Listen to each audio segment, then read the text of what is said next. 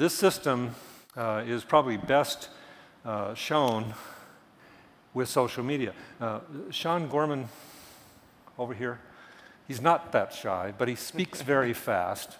Uh, I want you to uh, listen to him carefully has taken this technology and implemented it with a very cool app that's focused on social media and social social stuff. So, Sean, take it away. You'll oh, thanks, Jack. Appreciate thank it. You. Yes. Yeah. Thanks, everybody. It's been really fascinating sitting behind the stage and kind of watching all the material shoot up. And, uh, and, it really made me kind of reflect on, you know, it's about 20 years or so that I've been doing GIS stuff and just seeing all the great work that the community does with traditional GIS structured data. Um, and that's really what's got me excited about moving into real-time GIS and all the new streaming data sources that are coming online. Just seeing what the community um, potentially could be doing with this data and seeing all the good work that could bubble up as, um, as we make these new services available. Um, so one of the things, is, as Jack mentioned, is we're extending the platform to enable these new services to come online. And really want to talk today about how we tap into social data and all the billions of messages that are moving across the globe. We think of all the people now with mobile devices as they interact with those mobile devices and they're sending messages across social media.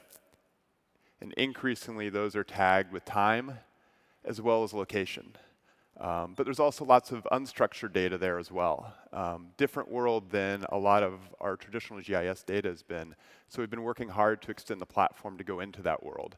Um, so we wanted to give an example of that. Um, so social media played a large role during Hurricane Sandy, connecting citizens to the events that happened and connecting stakeholders to those citizens' perspectives on the ground. Um, so we wanted to tap into those conversations and show you how we can move beyond just visualization of the data and showing tweets on a map to really doing analysis of that data in real time as it's occurring.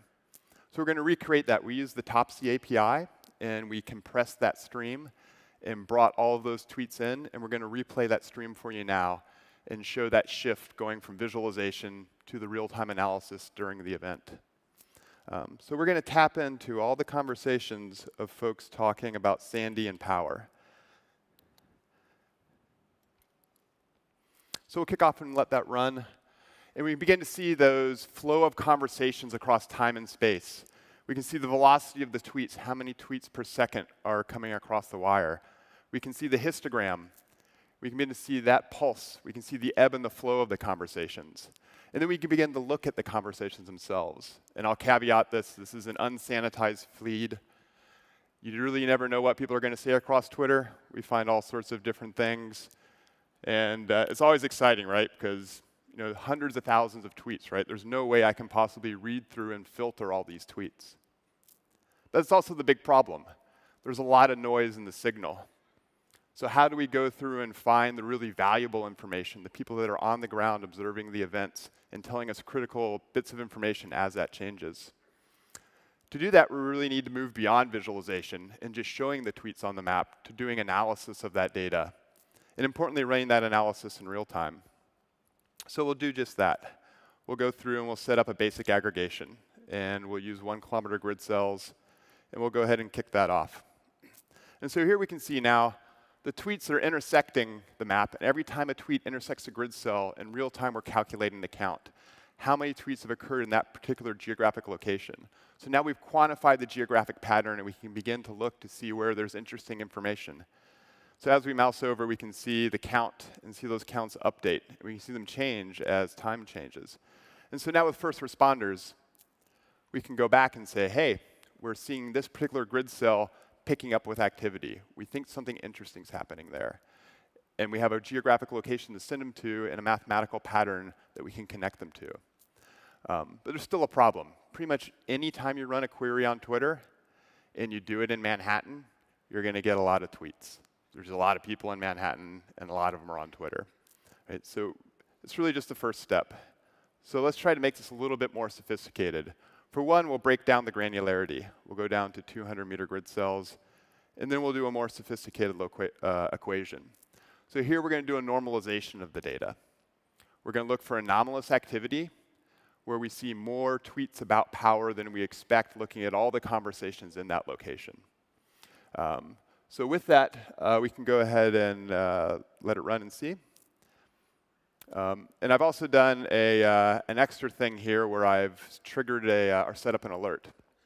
So as this data streams across, we'll start to look for where we see one and a half times the predicted rate of conversations occur. And so if we see a spike in conversations where all of a sudden a lot of people are talking about power, then we'll see an alert trigger off, and it'll give us the grid cell and the fact that something new and different has occurred there. Um, so here we see the beginning. You know, the storm hasn't hit yet, and we begin to see that volume of conversation pick up. So if we look back at the map, we can really see the spike, and now we see these pulsing red squares. In each one of these red squares, um, we've seen that conversation pick up, and we've, we've looked at that unstructured data, and we've determined that there's a disproportionate amount of conversation happening in those locations.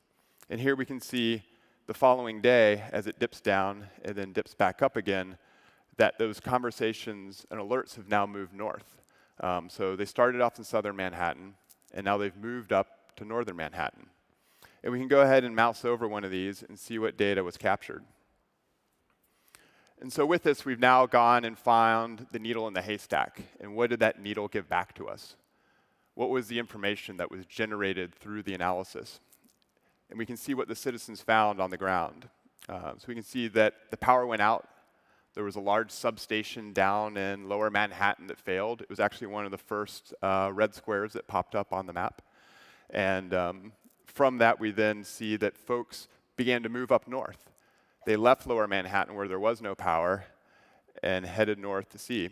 And we can get pictures showing folks there and what they saw. And so now we see this observation where the power's gone out, and then the exodus of people up to Midtown and to Uptown trying to find power.